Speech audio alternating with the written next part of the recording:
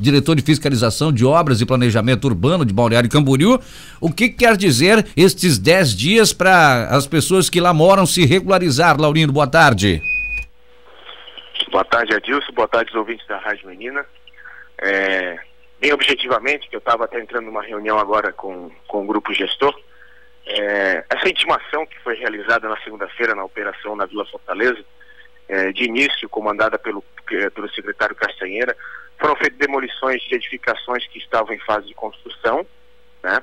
E as intimações que foram feitas, é, é sabido e consta dentro do plano do Código de Obras do município de parcelamento do solo, qualquer edificação erguida dentro do município deve ter seu projeto aprovado perante a municipalidade.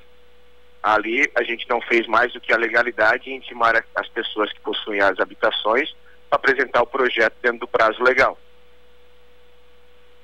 Tá, então eles vão ter que apresentar, eles questionaram como pode ter que apresentar algo dentro desse projeto, dentro da legalidade que, é ser, que, que, que serve para todos os munícipes de Balneário Camboriú, se ali não está regularizado ainda. Exatamente, ele trata de uma área de invasão e eles têm que apresentar o projeto. É, eu não posso, eu tenho que cumprir a legalidade na, na sua totalidade. Eu não posso exigir é, do cidadão da Atlântica, da Sexta Avenida e não exigir de dentro do, do Vila Fortaleza a mesma, a mesma legalidade. Eles têm que contratar um engenheiro.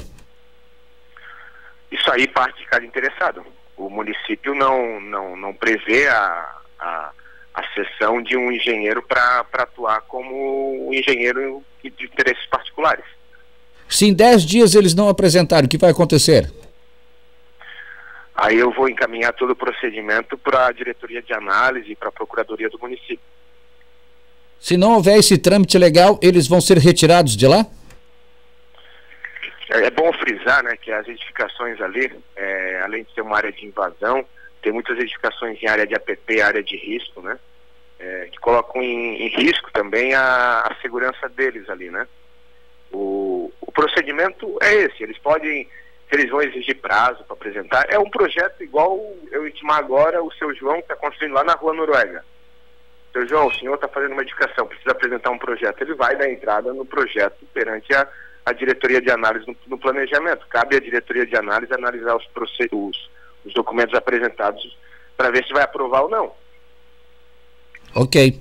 Serve então para o seu João o que serve lá para o Jardim Fortaleza. Atenção, população do Jardim Fortaleza, você deve procurar o setor responsável da prefeitura para procurar regularizar toda essa papelada, né? Que eu ainda estou esperando para ver o que, que vai dar no final disso, né? Porque as pessoas alegam que são carentes, que não têm dinheiro para fazer isso também. Houve essa alegação ontem.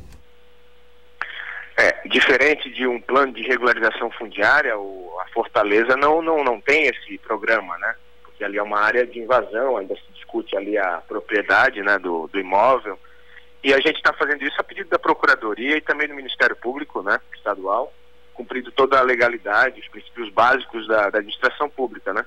Já tem uma pergunta para você aqui que diz o seguinte, é, Laurinha do estava ouvindo comentar sobre. Não, não é essa aqui. Se nós fizermos o projeto, nossas casas vão ter escrituras a partir daí? Algum registro assim, coisa parecida? Não, essa, essa pergunta ela é tendenciosa. Todo projeto tem que ser aprovado. O projeto, para ser aprovado, tem que ter pranchas, ARTs, comprovar a propriedade do bem, né? Existe uma série de requisitos para aprovação de projetos perante a municipalidade pública. Perfeito. As pessoas assinaram algo lá ontem se comprometendo de em 10 dias começar a procurar a prefeitura? Foram feitas em torno de inicialmente 30 notificações e as 30 deram recebido na cópia. Estas pessoas devem se deslocar até o setor de planejamento, é isso? Da prefeitura? Da... Plane... Planejamento para pegar os documentos que são necessários. Ou contratar de imediato um arquiteto, um engenheiro para eles já sabem tudo que precisa, né? Depois destes 10 dias? Depois desses 10 dias, não havendo qualquer pedido de, de justificativa ou informações, será encaminhado o procedimento para a diretoria de análise e, consequentemente, para a procuradoria do município. Tá certo. Obrigado, Laurindo Ramos. Aí, aí, o, próximo, aí o próximo procedimento eu não, não saber te dizer.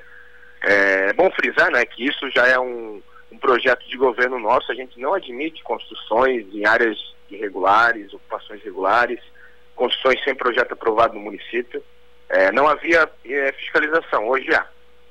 A população tem que ter ciência que a gente está aqui para auxiliar, até aquele que constrói dentro da sua propriedade, do seu bem, ele tem todos os auxílios dentro do município para aprovar o projeto, né? Visando ter no final até o habite, né? Entendido. Obrigado por enquanto por suas informações, Laurindo. Estou à disposição, tá, Dilson?